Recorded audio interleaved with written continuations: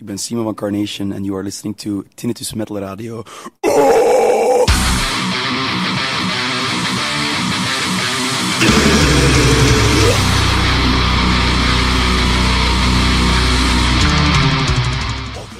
Hoe was het? Was het plezant? Ja, dat was echt goed. Eh, volle, volle tent, ja, wat wil je nog meer? Allee, ik bedoel, dat is bangelijk. Je, je speelde met je niet verwacht. speelde Nee? met 11 en je weet niet of er veel volk gaat zijn en in één keer staat die tent vol. Dus. Je denkt Ja. van de mensen op de camping die liggen nog in hun tent, want hebben, het is de laatste dag van het festival, die hebben al goed gedronken. Dus wat gaat de opkomst zijn? Dan toch eigenlijk, ja, ik boven alle verwachtingen. Ja, dat was wel de max. Dat was absoluut supergoed. Um, hoe was het luid op het podium? Want ik kan me voorstellen dat in vergelijking met pakweg een, ehm, ehm, een- meer een zaalshow, dat het, wel, dat het wel een verschil kan zijn uiteindelijk naar opstelling toe en zo. Maar viel eigenlijk wel goed. mee. Ik vond, Wij, we hebben een vaste geluidsman, dus uiteindelijk weet je wel wat moet doet doen. dat er nu niet toe. hè? Nee, in principe niet, maar Dat is goed gelaten. hè, hè. ja, dat was goed gelaten. Allee, in de repetitiekot hebben we ook goed gelaten, dus als je dat meebrengt naar het podium, dan is het altijd wel in orde. Ja. Wat dat er mij opviel, dat is dat, ehm, dat jullie live ehm, zo echt die Sunlight Studio sound hebben. En dat is iets wat me, er zijn heel veel bands die dat proberen, dat is zo wat eh, in jullie genre zo wat een heilige graal. Ehm hoe doen jullie dat? Ay, ik bedoel, dat, ja, voilà, ik weet nog niet in hoeverre, natuurlijk, ay, moet dat, de beroepsgeheimen moet ik, ay, maar ergens zo'n tip van de sluier, want ik ben er echt wel heel, heel curieus naar wat voor pedaaltjes of versterker of wat er... Ja, we, we mengelen, we mengelen eigenlijk de Amerikaanse en de Zweedse death metal sound. Ja.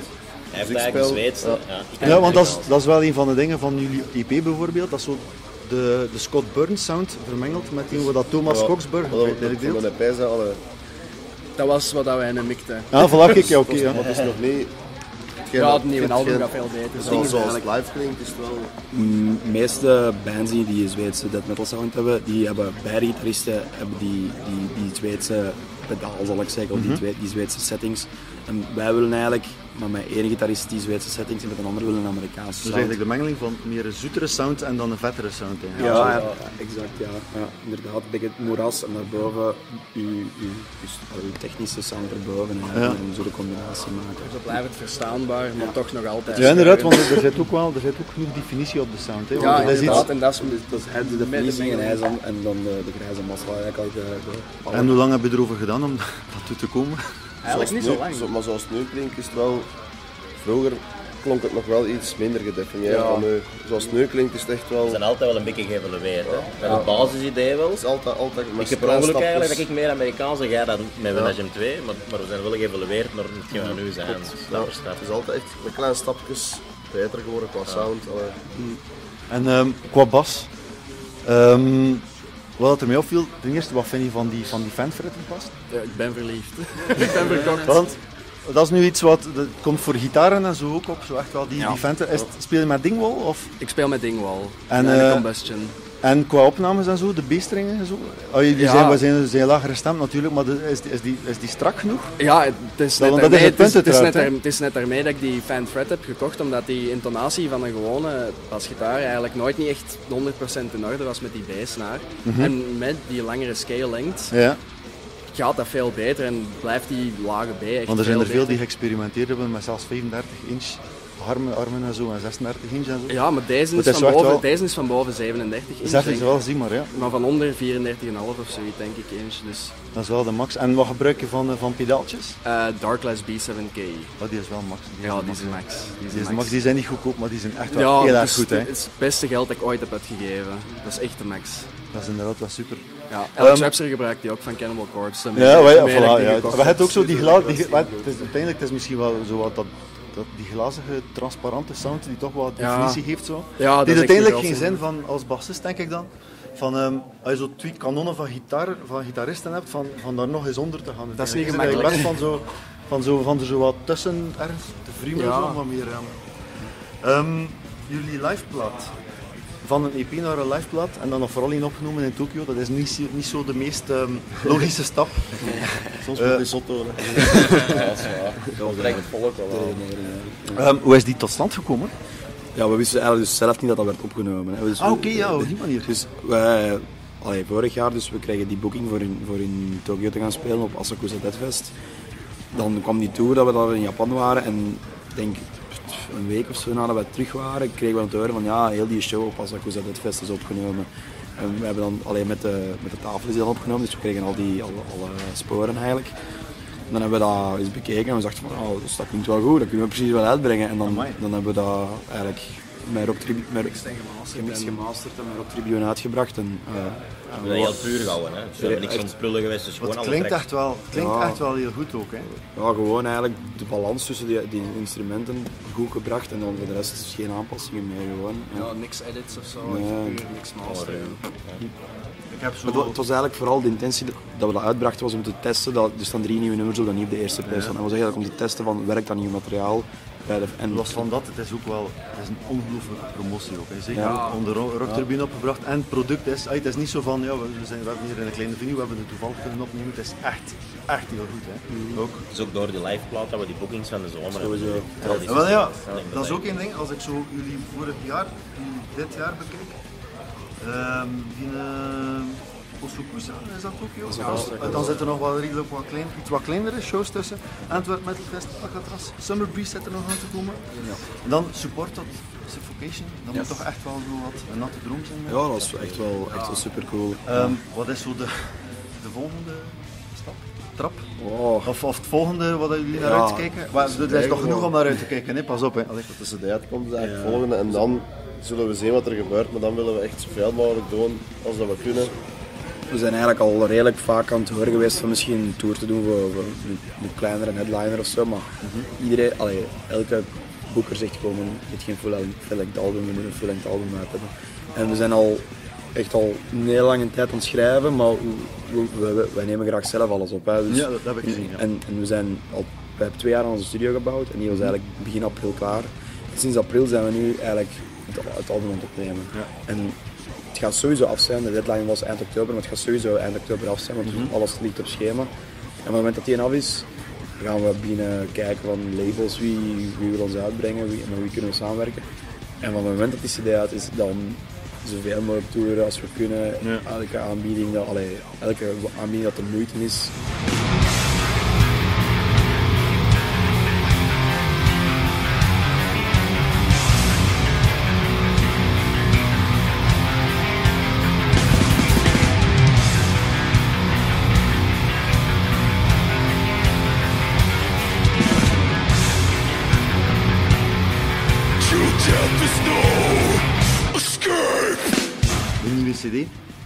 Wat willen jullie verbeteren tegenover de EP? Of wat zijn er, zijn er zo typische werkpuntjes qua geluid, qua, qua, ja, qua songs? Het zal wel- waarschijnlijk wel in dezelfde lijn liggen, maar qua productie en zo. ja, songs zijn Maar qua songs ook, hè, uiteraard. Songs Ja, ja, zijn bedoel, Veel volwassener en unieker. ja. unieker. Ik denk dat we, ik denk dat we zo'n beetje onze eigen schrijfstijl gevonden hebben. Bij, met de EP waren we nog een beetje aan het zoeken van hoe gaan we hoe, hoe, Nog iets te klassiek. en nog iets te klassiek, maar nu hebben we echt zo de Carnation. Moet, altijd, er- uiteindelijk wel ergens beginnen. Je moet er absoluut, hebben. sowieso. Ja, En uiteindelijk gaat het hem over de, de grootste invloeden of ding wat je uiteindelijk Ja. het liefste zelf hoort. er natuurlijk. Dus zijn we, zijn we, allee, we zijn daarmee begonnen en nu zijn we gegroeid naar ons, ons eigen ding. En qua sound en productie, ja, Beter. Het is moeilijk om te zeggen, maar veel natuurlijkere drums. Ook de gitaren, niet zo pijnlijk meer in door en zo. De EP, die was niet geweldig goed gemasterd dan. Niet slecht ook niet, maar ik heb hem al honderdduizend Ja, voilà, keer ja, opgezet ja, voilà, en nu weet ik wel wat dat er, natuurlijk, nu ja, weet ik wel ja, wat dat ermee ja. mis is. En, en dat, allee, hoe ver dat we nu staan, klinkt het al tien keer beter als dat toen klonk. Dus ja, dus Ja. wat we nu al hebben van, allee, we hebben nu drums, gitaren en bas zijn eigenlijk nu opgenomen, dus nu moeten we voor de zang gaan doen. Maar wat we nu hebben, dat moet nog gemixt worden, maar het klinkt echt al wel. Allee, de, de opnametracks zijn echt al zeer sterk niveau. Ja. We hebben nu van op voorhand een heel goede visie. Hè. Ja. En zo gaan we het aanpakken. Ja, en, en bij de EP was die ervaring visie er zo nog niet. En nu waren we echt op voorhand van zo en zo en zo. En nu echt gewoon van de bron, just gedaan. En dat, allee, bij de EP was het zo van, we fixen het later wel, we fixen het We zijn dat later beginnen wel. opnemen nu, als we content waren van, van, een, van een bepaalde sound van een instrument. En echt een dag of twee over gedaan voor, voor die sound. En dan, oké, de sound is goed, nu gaan we beginnen opnemen. En dan zien dat we, dat we proper en zuiver opnames hebben. En dan, dan gaat het werken. Daar gaat ze een tijd uiteindelijk over. Uiteindelijk. Ja, dat is een tijd. Je moet, je moet er echt wel in, je moet het, je moet het van deel laten rijpen ook. Ja. denk Ja, het is ermee ook dat, dat wij gewoon kiezen voor alles zelf op te nemen en, en te mixen. Omdat we hebben in het verleden in andere groepen ook al wel in stu- opnamestudio's gewerkt, maar ik vind dat echt... Allee, dat dat zijn goede producten uiteindelijk. hè, Maar ik vind dat zelf stresserend, omdat zeker als zanger. Je zit, je zit binnen een, tijd, een tijdslimiet Als zanger, ik krijg altijd de laatste halve dag of de laatste dag. Hè. Ik bedoel, dat zijn ik, dat zijn ik hè. Nu kan ik, nu krijg ik ook Maar langs de andere kant, de zanger krijgt al de vrouwen. Hè. Oh, dat weet ik niet. En die drummer als Eenmaal afgedraaid. Deze weet ik wel. Hè. Maar ik- het is gewoon leuk dat je nu, als je alles zelf doet, kun je ook een tijd nemen en kun je zeggen van oh, vandaag ga ik een nieuwe doen, morgen verder. Of, of zo. Dat kun je niet, als je zegt van je hebt 14 dagen, kun je niet zeggen van shit, vandaag ga ik het niet. Ja, nee, Ja, het, dat het kost geld. We Maar kunnen het doen uiteindelijk in de juiste mindset. Dat je zegt van kijk, we zijn er nu klaar voor. Of, allee, Dat is uiteindelijk nog belangrijk. En we zijn een beetje controlefreak ook, hè. Gewoon dat Dat moet alles ook wel, zelf- Ja, inderdaad. Allee, we willen het gewoon zelf doen. Omdat we Niet, gewoon... en niet, niet enkel op opnames, gewoon eigenlijk op alles, op alle vlakken. We, willen, we geven niet graag iets uit handen, eigenlijk gewoon merchandise, nou, alle, Sommige dingen moet je wel... Ja. is het gemakkelijker voor uit handen te geven. Je kunt niet alles zelf doen. Want dan wordt dat een soep. Dan, dan muziek opnemen, dat is, dat is zodanig persoonlijk uiteindelijk. Als je het uitgeeft aan iemand anders, gaat er altijd een deeltje van die producer Klopt. hè. Klopt. Dus eh, dat is zoiets dat misschien wel moeilijk is, zeker als je zo perfectionistisch bent. Hè. En dat zal zeker niet slecht zijn, maar het is gewoon niet wat je zelf echt wilt. ja. Het kan op twee kanten in gaan uit- uiteindelijk. Hè, van, je, allee, je krijgt een invloed dat je misschien niet wilt, maar la- langs de andere kant is, het kan misschien een interessante invloed zijn, maar denk nog niet dat we daar aan toe zijn. Ik denk, denk dat, dat is misschien niet binnen, binnen zoveel jaar, als we een vierde of een vijfde album bezig zijn, dat we, dat we zeggen van misschien is met een producer om eens te zien hoe dat gaat. Maar ik denk nu dat onze visie sterk genoeg is om zelf een sterk product te leveren en dat die, die externe invloed nog niet direct nodig is. Ja, het zal de max zijn, we zien er naar uit in ieder geval. Ja. Ehm, ik zag op jullie eh, Facebookpagina dat jullie mayonaise gitaars taggen in de foto's. Ja. Hebben jullie een endorsement deal of zit er iets gaande? Of... Wij, zij volgen ons wel Ja, goed, maar we hebben gitaren gekocht en we zijn er super content van. Eh, ik heb nog nooit Die op zo'n goede die, gitaar zijn- die, zijn, die zijn wel geweldig. Hè. Het is echt geweldig. Die zijn ook wel, dat is heel goed pas. Hè. Ja. Maar goed, maar zij heeft. Ja. Of nog niet. Allee. Ik denk Maar hij is heel content van zijn ding wel ook. Dus Ja, ook inderdaad. Ik Ja, heb zijn max. geweest. hè. Ik heb want ik heb gezien geweest. dat eh, de bassist van Spoil Engine, die speelt nu ook met Dingwall. Ja, dat kan. Ik, ik ben ermee begonnen door Nolly van eh, Periphery. Nou, die ken ik niet. Ja, dat, is, dat Ja. is, ligt totaal niet in genre, maar ik hoorde die een bassound en dat, was, dat is waar dat ik al Ik had, er, ik, had er wel, ik had er wel redelijk wat over gelezen uiteindelijk, maar dat zijn zo... Ja, en zeker... Die zijn ineens heel erg aan het opkomen, ding wel. Ja, en dan vooral zo, er, er, is, er, is zo heel veel, er zijn heel veel progressieve producten op het gebied van bas. En dat is minder, Ja. dat is minder in gitaar, wat eigenlijk heel vreemd is. Ja, sorry dat we een keer over bas. Allee. Ik kreeg weinig die Dat mag kans. ook eens, ik kreeg dat mag weinig ook eens. is zoiets... ehm, Dat is een heel belangrijk, belangrijk element van onze sound, en dat is die, die, die agressieve basklank van ons. Hè. Inderdaad, dat, dat mag ik wel volgen. Agressief. hè. En ja, we spelen nu met die merken. Het zou inderdaad wel leuk zijn als we meer in contact kunnen komen met die ja, merken. maar Dus dat niet maar zo'n tijd uiteindelijk. Dat zijn, Ja. Ik denk wel dat Ja. die, die krijgen heel veel endorsement aan. We hebben een goede gitaar gekocht en dat moet ook niet overhaast worden. Hè. Ik bedoel, Nee. Zij liken alles dat van ons, zij volgen ons, wij zijn content met die gitaren en Voor hen uiteindelijk. ja, Dat we zal zullen wel. zien waar dat komt. Het is echt zijn geld waard. Het kost Voilà. veel geld, maar het is echt wel waard. Wel, uiteindelijk ja, zijn, zijn het handgemaakte of eh, Zijn zijn, handgemaakt. echt wat custom gitaren die Ja. jullie bestaan. Die zijn dan nog relatief schappelijk van prijs in vergelijking met sommige andere merken Ja. natuurlijk. Oh, ik bedoel, het is duur, hè, maar we verstaan Ik, niet verkeerd. ik, ik maar- had die gitaar in mijn handen, ik speel erop, dat is de beste gitaar die ik Kunt. ooit heb opgespeeld. En ik heb die nu, allee, elke keer dat ik die uit die koffer doe, denk ik altijd van, Een, "Amai, dat is een een, pareltje. een man." Jackson of een. LTD-kop. Een Jackson of een LTD-kop van dezelfde prijs, dan kun je eigenlijk gewoon wegsmijten. Dat, dat is echt, dat trekt er nog. Ik had zo Ibanezjes van rond de 1000, 1200 euro klassen of zo. Wat toch in principe al... Wat dan cool normaal ja. Maar je dan AB de sound vergelijkt. We- In de repetitie stond perplex van aan mij. Heb ik daar zoveel jaar op gespeeld, had ik dat geweten, dan had ik dat jaar eerder gekocht. Echt Dat, dat voelt uiteindelijk, maar het is uiteindelijk het is een serieuze investering. Ja. Je moet dat uiteindelijk weten. ehm. Ik heb er nog een paar vragen, liefst zo snel mogelijk antwoorden. Morris Sound of Sunlight Studios? Sunlight. Oh. Ik zou ook Sunlight kiezen, maar ja, het is moeilijk. Hij is Ja, wel ja, ja, ja, is anders zou- die vraag niet stellen, ja. Ik vind, ja, het wat budget dat je kunt uitgeven. Want Ik denk dat, dat het interessantste antwoord is dat het eigenlijk verdeeld is binnen de band. Ja, maar voilà, uiteindelijk, maar dat, dat antwoord dat je, dat, dat antwoord ik dat heb ik goede en slechte producten gehoord van Sunlight en goede en slechte van Morris Sound. Dus ja, Dat is wel juist. Uiteindelijk, maar ik moet zeggen, als je dan persoonlijk Scott Burns, ja, ja, maar goed ja. Ik heb het ook iets meer wel voor Scott Burns dan voor Dan Spanna, want wat dat de laatste tijd doet is ook nog maar, ja, de laatste tijd ben ik ook niet zo content van, van dat soort en dingen. Zo. is ook maar altijd hetzelfde. Ja. ja. Ehm, Morbid Angel of I Am Morbid?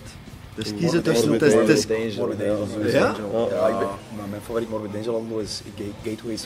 Voor mij wel de eerste, maar toch, Steve Tucker is, is de, allee, ik hoor, ik hoor David Finnet niet zo graag kunnen zingen. Ja, het, was, het is eigenlijk kiezen tussen een super gitarist en tussen een, een, goed, een super frontman, vind ik. Maar ik vind, Ja, ik maar vind zijn stem, vind ik veel belangrijker. Zijn stem van ja. vind ik heel cool. Vlak van Morbid Ja, Angel vind ik. ik- Die, ja. die, die eerste albums vind ik stem super cool, maar ik vind hem dat hij nu zingt, dat is, ik hoor dat niet zo graag. Want het is, het is, En ik wat vind is, het is heel veel rond te een- doen geweest hier ook. En, en, Een beetje een dikke nek ook, ja, eigenlijk, sorry man. Ah, maar, ja.